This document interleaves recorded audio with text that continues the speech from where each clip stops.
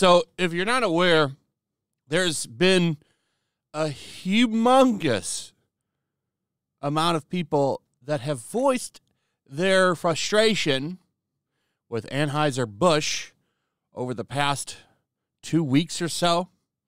And it's been pretty well deserved, in my opinion, because they should have never put themselves in this position.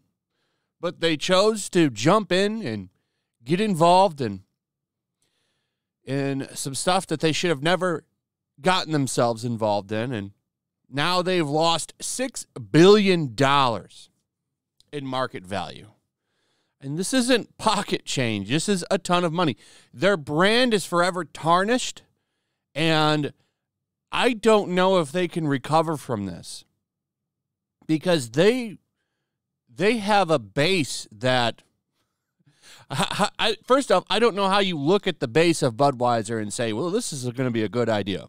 In case you don't know, real quick, because I haven't made a video on this.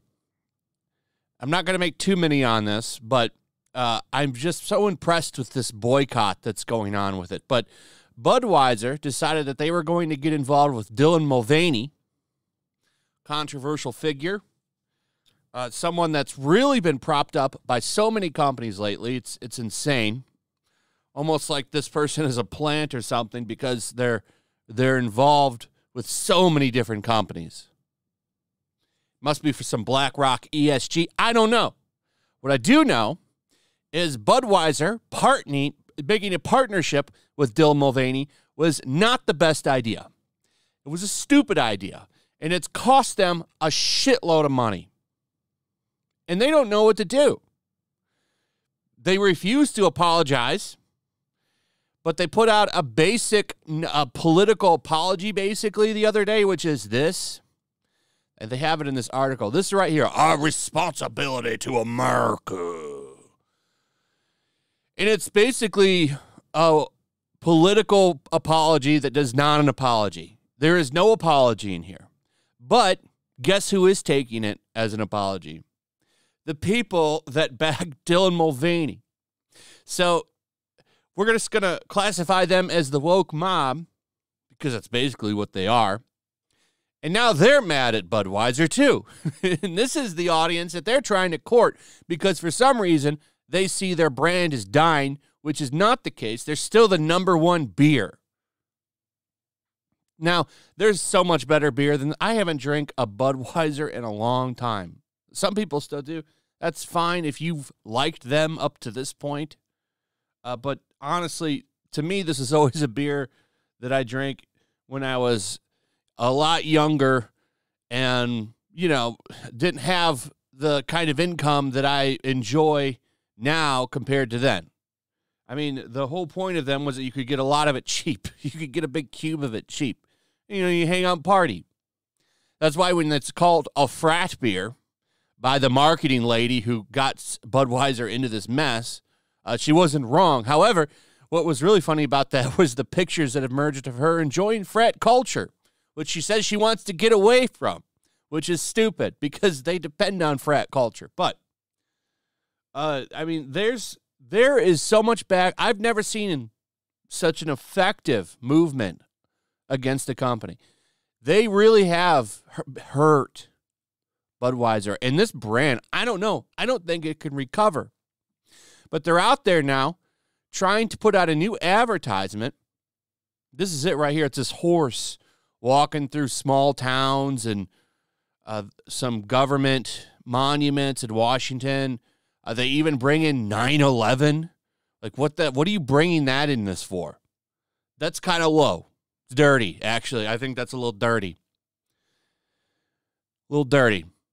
So, this is what they're doing now. They're trying to get back to basics. They're trying to go back to the kind of advertising that they've used before. And I don't think it's going to work. They put this out, they're getting slammed for it. Got some examples here from Brad Morris, good guy. I'm not sure a lineup of B roll footage and some guy throwing middle America buzzwords at us is going to win us back. And frankly, bringing 9 11 into this is kind of insulting. I agree 100%. 100% with that statement. Uh, It's not going to work. But that's what they're doing now. Let's get back to the basics and and try and do this like we used to do. You don't even need to advertise. the beer sells its alcohol sells itself. Okay? It's not it's not a crazy concept. So, so the horse trans now. yeah, they're they're uh they're in some trouble. I uh I also saw some Benny Johnson posted something saying the Anheuser Busch guy, the the guy who runs the company, used to work for the CIA. Now I don't know if that's true. Uh, I trust him though; he's a good dude. So if that's true, kind of explains a lot. So, yeah, six billion lost. The ad reads as a brand reset for the beer company, currently embroiled in controversy over a progressive partnership with Dylan Mulvaney. Another criticism of this is the fact that that person uh, has a lot of younger people watching them. So you got this person putting beer out in their thing. That's that's that's kind of shady as well. Uh, the American Spirit Spot features the brand's iconic Clydesdale glap, uh, galloping across the great American plains and by historic landmarks. Last week, Anheuser-Busch lost more than 6 billion in market cap due to backlash surrounding a partnership with that trans influencer. Influencer. Yeah, not the best idea. Not the best idea for them to do. And they've paid for it. And they're going to continue to pay for it. I don't think this brand, that frat culture now, is uh, is done. There's so many other cheap beers that taste just as bad as Budweiser that you could switch to. No problem. Now, here's what's really funny about this. Uh, you've got a lot of people in the GOP. Turns out Anheuser-Busch is a big, big donator to several Republicans who are now saying, well, let's just let's just forget about it. Bygones be bygones, including Trump Trump Jr. Uh, you should probably stay out of this because you're attached to your dad. So maybe shut up because going after Budweiser and protecting them is not the best look. And then all these conservatives saying that we should we should back off. No. No, no, no, no. No, that's not going to happen. The boycott, usually I don't support them because they don't work, but in this case, it is working quite effectively. I've never seen a boycott that was so successful. This brand is completely damaged for life. They're never going to shake this off. Never going to shake this off. So here's some people responding to this. Here's some takes. Uh, from the Daily Beast, the National Republican Congressional Committee quietly deleted a fundraising page Saturday that took aim at one of their largest donors, the parent company of Budweiser, Anheuser-Busch.